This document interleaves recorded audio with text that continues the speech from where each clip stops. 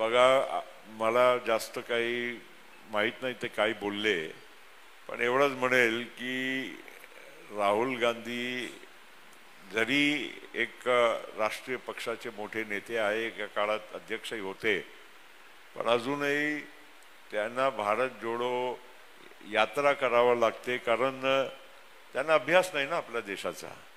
कोणाला करावं लागते यात्रा? ज्यांना अभ्यास नसते. आम्हाला वाटते की आम्हाला अभ्यास आम्हाला नाही बाकीचेही अनेक मान्यवर नेते आहे काँग्रेसमध्ये खूप सारे नेते आहे ज्यांना खूप अभ्यास आहे. ज्यांना अभ्यास नसते त्यांना असं करावं लागतं.